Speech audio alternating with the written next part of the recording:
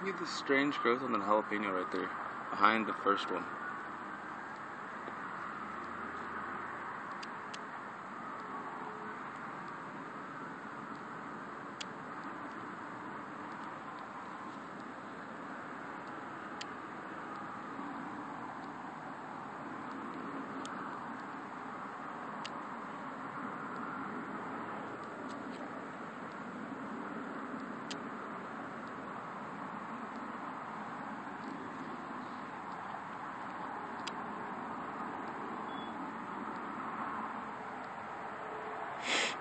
Show you something in a second.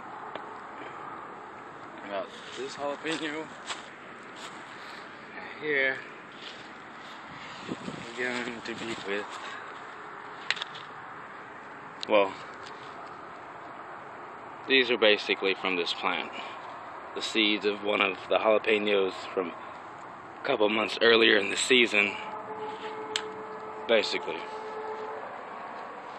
That's what I did. and I got more jalapenos now. Yeah. I could have cloned it and used some cinnamon, you know. It's a natural method, technique to clone plants. Just use some powdered cinnamon, you know. Uh, what you would do is snip this off since it's at the bottom all the roots and hormones are at the bottom of the plant and what you want to do is snip a good size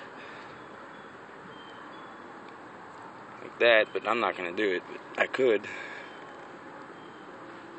But I know this and I've tried it on a plant that I know works so this one could be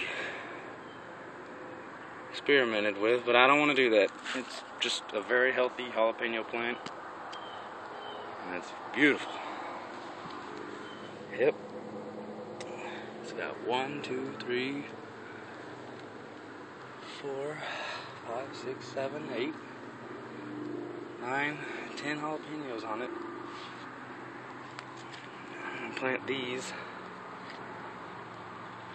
And they're gonna be just like this sometime. I don't know when. But I could back to this. I would cut this here at the bottom, the razor blade, and dip this in a bottle of powdered cinnamon. Shake it, or no. Back to this one. I would cut this with a razor blade right about here. And you see right about, you see this leaf? I cut that, then the new little shoot will probably most likely want to grow again and come back out of there. Like this one came back. Pick that off. Back to this. I'd cut this off with a razor blade. Kind of skin it some with the blade, the razor. Give it an edge to it and open it up to uh, the powdered cinnamon let that get into the plant matter of the side here.